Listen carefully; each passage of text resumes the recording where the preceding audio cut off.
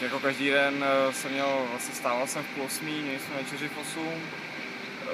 To jsem měl co dělat, abych teda vstal, protože eh, ráno, ráno nejsou, není moje nejoblíbenější část dne, takže, takže jsem měl co dělat. Potom jsme měli snídaní, eh, trénink jsme měli vlastně od půl desátý, takže, takže jsem odpočíval do té doby na pokoji.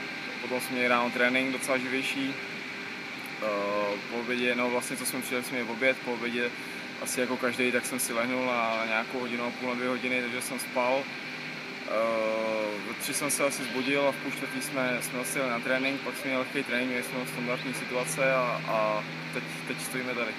Nejsilnější zážitek pro mě byl, asi se stal před 15 minutami, když Martin dostal kolorát střižbu a, a bude nám přát, bude nám přát večeři, takže bylo vidět, že to dnes velice nelibě, ale, ale všichni se na to těšíme.